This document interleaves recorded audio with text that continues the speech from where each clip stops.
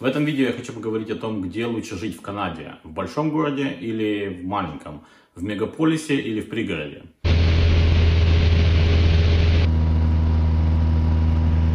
Нужно сказать, что э, жизнь в Северной Америке, в Канаде в том числе, э, в Соединенных Штатах Америки, она устроена немного по-другому, чем жизнь в Европе или в странах, откуда мы приехали. В Украине или в России или в странах Европы жизнь она устроена вокруг э, обычного мегаполиса, и все вращается вокруг мегаполиса. А, и жить, конечно же, в большинстве случаев лучше в самом городе потому что очень развит общественный транспорт, очень развита инфраструктура, и если где-то выехать далеко за город, то этого всего можно лишиться. А в Северной Америке ситуация немного другая. Конечно же, в больших городах, таких как Торонто, Нью-Йорк, Бостон, а, Ванкувер, Монреаль, а, все а, на самом деле похоже, то есть действительно много, много всего происходит в самих городах, много всего происходит в центре города, в даунтауне, но жизнь на самом деле устроена так, что можно жить э, не, и не быть привязанным к большому городу. Можно жить в пригороде, э, можно жить в каком-то городе-сателлите, который тоже может быть достаточно большой. Э, допустим, у нас в Торонто есть много городов, которые входят в GTA, так называемый Greater Toronto Area. Это э, район вокруг Торонто, э, называется так. А, очень много самодостаточных и самостоятельных городов, в которых а, можно жить э, и, в принципе, не выезжая, и иметь все, а, как бы иметь все удобства, иметь всю инфраструктуру, доступную тебе, не, не обязательно для этого выезжать из-за из пределы города. Или вы можете выехать в соседний такой же городок э, или пригород и получить то, чего у вас в вашем городке нету. То есть это все как такой большой-большой большой город, можно назвать, который вот э, он живет своей такой жизнью, и люди могут э, жить в одном городе, работать в другом, э, или в Торонто ездить, или наоборот из Торонто ездить в какой-то другой город или пригород. То есть ситуация происходит вот так, и жизнь происходит вот так. И очень часто люди работают и живут в одном небольшом городке, допустим, или, или даже большом городе, но не в самом Торонто. Есть очень как бы, много плюсов жизни в самом даунтауне, Э, в самом центре города, в самом центре Торонто, допустим. Я сейчас буду больше говорить о Торонто, но вы можете проецировать это на другие города или Канады, или даже, в принципе, Америки, потому что ситуация похожа везде. За исключением, возможно, немного Монреаля. Монреаль, он более такой европейский устроенный город, и, в принципе, в нем вот как раз э, можно найти какую-то такую смесь э, европейской а, жизни, европейского стиля жизни и, и североамериканского стиля жизни. То есть такой получается микс интересный. Какие плюсы жизни в мегаполисе, какие плюсы жизни в самом Торонто? А, у вас есть доступ к общественному транспорту который более развит в самом Торонто, чем, он, э, чем в пригородах, допустим. И у вас в пешей доступности могут быть много замечательных ресторанов, много развлекательных каких-то мероприятий. Опять же, зависит от того, где в самом Торонто вы живете, потому что вы даже в самом Торонто вы можете жить так, что вам придется очень долго добираться до вот этих всех а, amenities, о которых я говорю, до вот этих всех театров, а, концертов, других развлекательных комплексов или каких-то развлекательных, или тех же ресторанов. Вот Торонто сам по себе он очень большой. И нельзя сказать, что живя вот в любой части Торонто, вы будете иметь доступ ко всему абсолютно, как в принципе в любом другом городе. Конечно, есть смысл а, селиться как бы поближе к вашей работе, поближе к вашему, ам, поближе к вашему университету или колледжу, где вы собираетесь а, учиться или работать, чтобы не тратить очень много времени на, а, на дорогу. Но здесь интересный момент, что э, работая в Торонто и живя, допустим, в каком-то соседнем городке, таком как, ну, к примеру, Ричмонд Хилл или Миссисага или еще что-то, э, есть шанс, что вы будете добираться на свою работу гораздо быстрее, чем вы будете добираться из Торонто, но из другого конца Торонто. То есть здесь очень так интересно, э, система Highway так построена, что вы можете буквально за 20 минут, если, конечно, нету пробок, добраться из, э, к примеру, того же Ричмонд Хилл, вы можете добраться в даунтаун Торонто и вы уже там. А в то же время, допустим, на общественном транспорте, на метро и автобусах и трамваях вам, возможно, придется делать несколько пересадок, и вы будете добираться минут 40, а, а то и больше. То есть э, это тоже нужно, на это нужно смотреть, и это нужно понимать.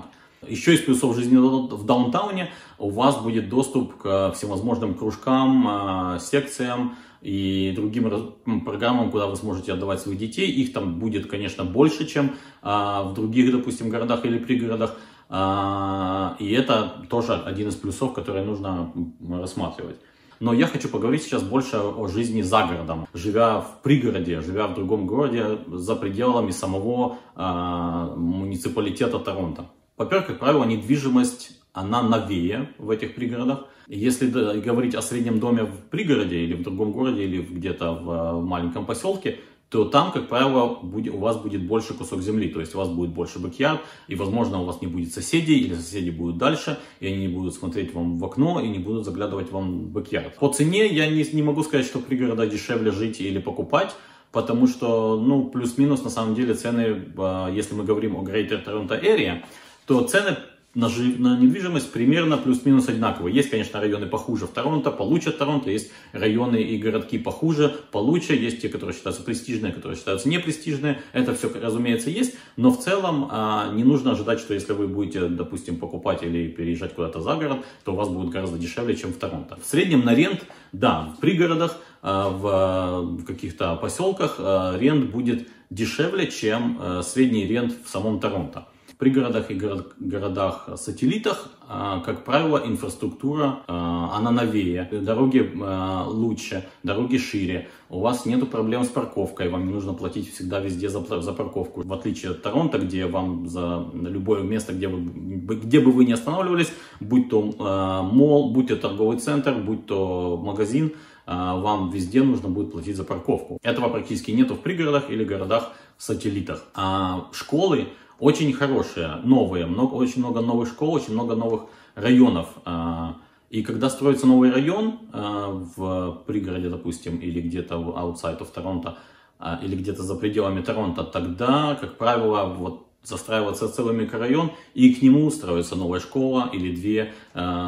И это, как правило, новые, новые школы, они, как правило, хорошие школы. Это тоже очень важный момент э, понимать. Очень много строится новых комьюнити-центров, таких э, центров, где вы можете прийти, где есть бассейн, где есть какие-то кружки или какие-то полезности, которыми можно заниматься, которыми могут заниматься ваши дети, и они тоже, очень много их строится новых а, за пределами Торонто. Правило, в пригородах всегда будет э, госпиталь один или два, в зависимости от размера пригорода или города, и у вас не будет проблем с доступом к медицинской, э, квалифицированной медицинской э, помощи. Э, часто это новые госпитали с новым оборудованием и достаточно хорошие госпитали. Что интересно, что в таких местах поток людей меньше, чем в том же Торонто, поэтому процесс ожидания будет занимать меньше. Колы менее заполнены, чем в Торонто. Это тоже очень важно понимать, потому что чем больше класс, тем а, ну, сложнее учителю уделить внимание детям. А, если говорить о таких вещах, как кинотеатры, рестораны, кафе и другие развлекательные вещи, это всего хватает в пригородах в том числе. Очень много больших кинотеатров построено, и совершенно не проблема найти себе какое-то развлечение. Для этого не нужно ехать в Торонто.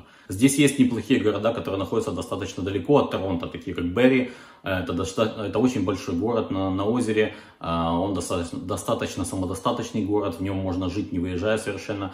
А, но это уже где-то час-полтора часа езды от Торонто. Есть города такие, как Гвелф, есть города такие, как Лондон, где вы можете точно так же жить, не выезжая, и у вас будет очень много всего доступности. У вас будут хорошие госпитали, у вас будет э, аэропорт, не международный, но все равно будет аэропорт э, небольшой у вас будет э, кинотеатры, и торговые центры и все остальное, это, это все у вас будет, но это уже, конечно, вы чувствуете себя немного оторванным, немного оторванным от мегаполиса, скажем так. А, но живя в городах, которые находятся в, в той же Greater Toronto Area, которые, как ее называют, вы вполне можете быть через 20, 30, 40 минут, вы можете быть в даунтаун Торонто и совершенно а, без проблем можете даже и работать э, в Торонто, ездить туда каждый день. Но при этом э, вы будете жить в спокойном, более спокойном месте, в более тихом месте. Э, и это тоже очень влияет на качество жизни. Поэтому здесь, конечно, нужно выбирать то, из чего вы, что вам больше нравится, как вам больше подходит, где вы будете работать, как вы себя чувствуете. Если вы хотите жить а, среди движения и видеть это, и чувствовать это, вдыхать это, это, конечно, очень хорошо жить в самом городе, в самом мегаполисе и все это чувствовать. А, но если у вас есть дети, если вы хотите более спокойной, более размеренной а, обстановки вокруг вас, то, конечно, стоит рассматривать пригороды, конечно, стоит рассматривать, рассматривать города, которые находятся вокруг, вокруг Торонто, а, не слишком далеко, но вы будете жить в более такой спокойной обстановке. Я очень надеюсь, что это сумбурное видео было вам немного полезным. Если у вас есть какие-то вопросы на эту тему, задавайте их в комментариях внизу. Не забывайте подписываться на наш канал и увидимся в следующем видео. ほら。